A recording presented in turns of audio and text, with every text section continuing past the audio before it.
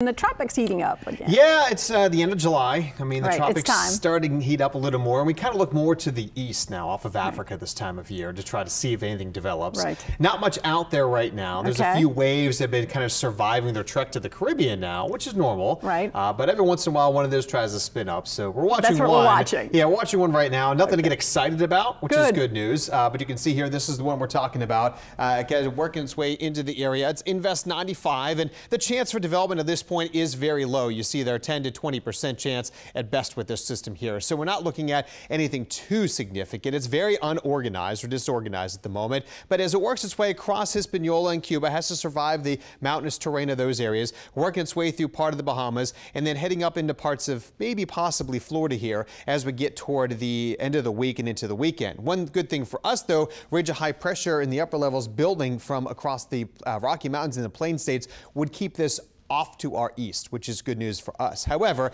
looks like it could be a rainmaker for parts of Florida. So definitely something to watch. You can see where it's kind of spinning there across part of the islands and into the Caribbean at this, this point. Some bigger thunderstorms just off to the north of it right now. And they can see most of them are working their way through parts of uh, just south of San Juan, Antigua area, back to Martinique, a little bit of some rain, but nothing organized. There's a big swirl here, but that's about all we have with it. Winds are at 30. This is from earlier this morning. Forecast models ain't running much with this one either. So again, nothing to get excited about, but definitely something worth watching here. And you can see here, this is the American model, kind of basically taking this big area here, a little spin with it, but it's not much here. This is by Thursday morning. Now, as the cluster kind of works its way through the Bahamas and gets there by, say, Saturday morning, maybe a little more of a circulation. So we're looking at atmospheric rotation, the mid-levels of the atmosphere to try to see if there's something to watch here. And there just isn't too much. It does get a little better organized once it goes up and curves around the East Coast, according to the American model.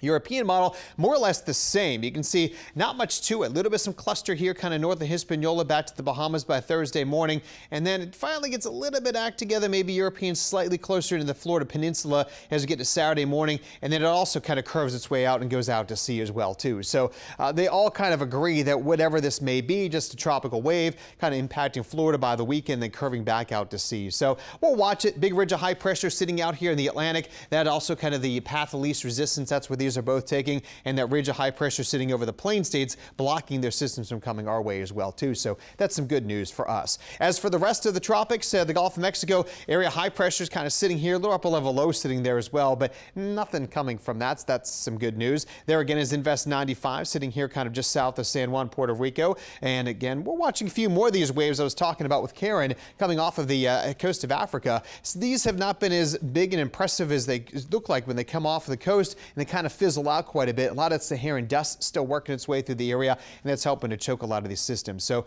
that's definitely something that's good. If we can keep that dust out there, kind of prevents these systems from forming. So what are we looking at back here at home? Again, hotter with fewer storms today, better chance for storms with heavy rain tomorrow, and hot with spotty storms as we head into the rest of the week beyond tomorrow. Right now, though, temperatures coming in 88 degrees out there, but it does feel like it's 96 with some of those calm winds. North of the lake, we're talking about 88 there in Hammond, 87 Slidell, 92 in Reserve, and anywhere from 88 in the Houma area. And you can see feel like temperatures already 102 Reserve, 96 Kenner to Houma, lower to mid 90s there north of the lake, back to the parts of the east. And we'll feel like the mid 90s this afternoon before temperatures trail off as we head into the evening hours. Chance of rain does increase a little bit by 5 o'clock when you're heading home from work today, so do plan for a little rain by then, but still not a lot expected. Nothing right now in the metro area. Showers and storms near Morgan City to Pierre Part area, but that's really about it. The rest of the region kind of quiet. Maybe one shower popping up over the spillway just saw there. But this front, as he moves closer to us tomorrow, that is going to help to spark off some additional showers and storms. So 30% chance today, 60% tomorrow, and then down to 40 to 30% as we go through the rest of the week. You'll see here on Precision Cast some of those showers trying to develop this afternoon. Maybe there's the one we're talking about, a couple here, but the overall coverage much less than we saw yesterday. Pretty quiet here by 10 o'clock tonight. That overnight we'll see some storms coming in, and then that's the start of it by 7 a.m. And then you'll see bigger storms coming in from lunchtime, heading on into 3 o'clock in the afternoon. Some of these gusty winds and very heavy rain. And they'll continue here to about 6 o'clock, and finally by 10 o'clock on Tuesday, the weather starts to improve and the rain comes to an end. So for today, 30% chance rain, 91 tomorrow, 60% chance at 88, and we have about a 40% Wednesday, and then not much rain thereafter.